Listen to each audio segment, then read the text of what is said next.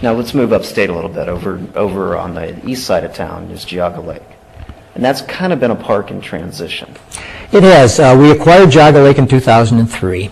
Um, historically, when we acquire a property, it takes between three and five years to, to bring it around to our standards and get the attendance levels up. Um, quite frankly, it's behind, it's behind the curve, what we'd hoped for it to do. Uh, there's a number of reasons for that, I think. Um, the economy's played some part of it. Uh, I think that um, uh, when we removed the animals uh, from the Six Flags Park, that had an impact that, that we really didn't count on. Uh, it's an awful big uh, structure. We have over 700 acres there, and we're just not getting the attendance to support 700 acres. So we're taking a very, very hard look at it.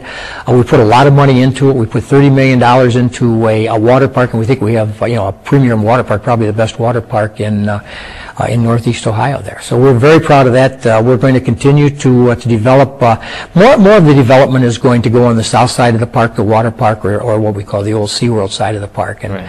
and we'll let the coaster lovers maybe go to Cedar Point a little bit. I was just going to say, so strategically, is it is the um, is the plan to make it more of a water park with a few amusement rides uh, supplement? It, it, was not when we acquired the property, but again, the attendance levels didn't maintain what we wanted to, and so of course, you know, you have to go economically, what's what's best.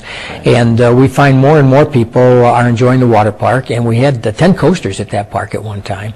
Um, and uh, so, yes, we are going to have to start, uh, you know, phasing out uh, some of the, the bigger coasters. As we mentioned, economically, we just can't put, afford to put in a 15 or 20 million dollar coaster in that park when when you're only doing about 700,000 in attendance. Right. So, an opening weekend um, at Cedar Point. Um, let's say you get a beautiful weekend like we just had with uh, 75 degree weather.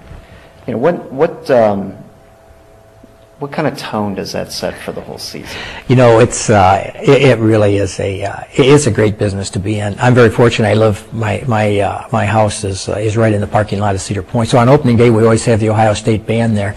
They get there early, and I wake up in the morning and um, and and they're playing Carmen, Ohio, practicing in the parking lot. And if it's a beautiful sunny uh, Saturday morning, and you know the energy is so high because everyone's worked so hard all winter to get the park ready, and uh, we've got, you know, especially when you have a new attraction like the Maverick coming this year, it, it's a it's a real high. It's uh, uh, you know, it, it's like opening day for baseball or football. It, it's it's, it's certainly something that uh, if they work for the Browns or the Indians, why they could relate to the same experience. Uh, it's it's you know, you really don't classify it as work. It's really just it's it's a very very enjoyable enjoyable way of making a living. You know, with the new parks, you're, I know you're offering a, a new package this year that's essentially a, a season pass to uh-huh. all of the parks. Do you have sales goals in mind for that? I mean, is there a target? Uh, yes, we, know, we, we, we do put uh, we put goals up there. We really didn't know how it was going to uh, to go this year. We have a combination where you can get all three of the Ohio parks. We have five properties in California. We have another package which you can get all five California properties at another uh, at another price. Then we have a deal where you can get all the parks at one price. Um, our strategy was a little bit different than uh, than uh, the Paramount Park strategy. Is uh, we put a lot of integrity into our pricing. Uh, we don't give away a lot of free tickets with our seasons passes. Uh, we feel that we put a lot of money into our parks. Uh, they're clean and safe, and we want people to come to them. And so what we do is we don't really have the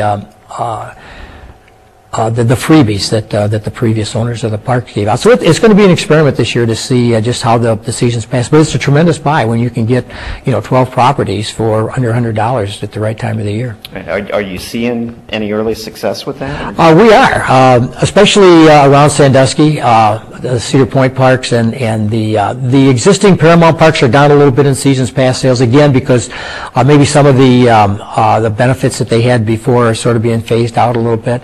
Uh, and again, they're a little more expensive than they were last year. The Cedar, the, the original legacy parks are, are about the same as last year, but we had to raise the uh, the Paramount Park seasons passes a little bit. So we're seeing a little bit of resistance there. But hopefully, what we've done at the parks is we've lowered the front gate price. Uh, we've introduced a senior citizens price. We've introduced a child's price. Uh, things that they've never introduced before. So we're sort of maybe we can. Uh, uh, trade off a little bit in the uh, in the buying uh, scheme that our pay, our customers are going to they have this year? To some degree, in the in the amusement park business, you're you're competing with other amusement parks, but you're also competing with other forms of entertainment to get my family of 4 mm-hmm. to spend my money at your at your park. Who who are your main competitors? Well, we really compete uh, for the discretionary dollar. Um, we compete with uh, with movie theaters, the Indians. Uh, in the fall, we compete with the Browns. Uh, but it's it. Uh, our surveys tell us lately that uh, our biggest competitor right now is electronics. We have to to get the teenagers off of the couch, away from. Uh, from their computers and their sports boxes and get them out and actually participate in activities as opposed to just doing it uh, on the internet. So we have our commercials geared toward that. We're trying to get out, and we're actually, you know, like all companies, we're we're advertising on the internet, and and uh, so we're we're going that that channel to try to get try to get the kids out of the house and more active and be out and actually uh, participate as opposed to just doing it uh, on their on their um, computers. I guess I never imagined Xbox and Wii as your as your competition. Yes, that, uh, it's very competitive for us. Uh, we, it's a challenge for us to get to get the uh, teenagers out of the house and uh, have them come out and participate. Now, I know you had been hinting that you were thinking about retirement prior to the purchase of, of the Paramount Parks.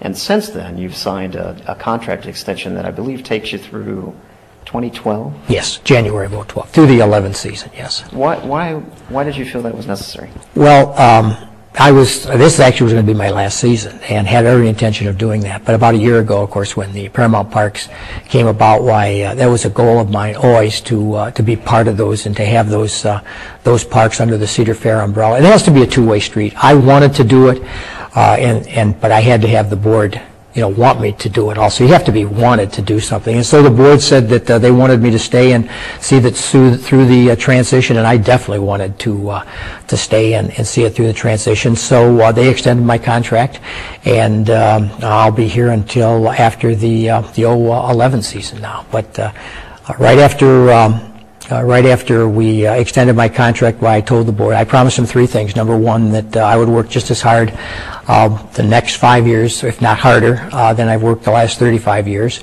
Uh, I will not lobby to um, to renew my contract at the end of uh, its termination, and that I'll have a successor in place to recommend to the board to see that the company goes forward. Well, we wish you a very successful 2007 and, and moving forward at least through 2012. Thanks, Paul. You've been listening to, to Dick Kinzel, uh, the, the Chief Executive Officer of Cedar Fair.